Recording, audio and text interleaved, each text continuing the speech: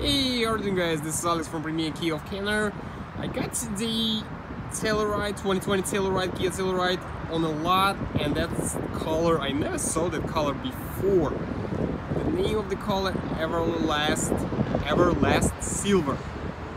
I don't know, I got a double feeling about this color. For me it's kind of like light, light blue. Just try to shoot you a quick video and ask for your opinion.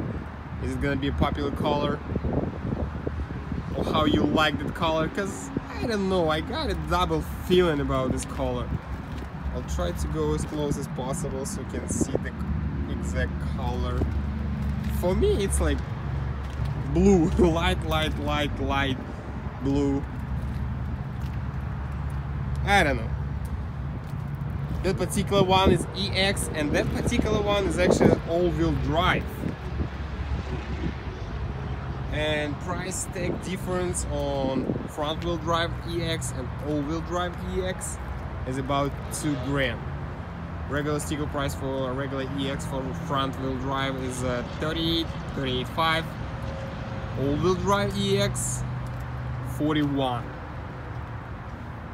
so if you're ready to pay a little bit more and get all-wheel drive probably for North is gonna be perfect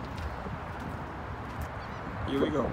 41,000 and it's yours. Drive EX I don't know about this color. Still got double feeling. Kind of soft. I don't know maybe like girls will fall for it. I don't know. Not my type. Let me know if you like the color and if it's gonna be a popular one. Comment like, dislike. Let me know. Thank you. Bye.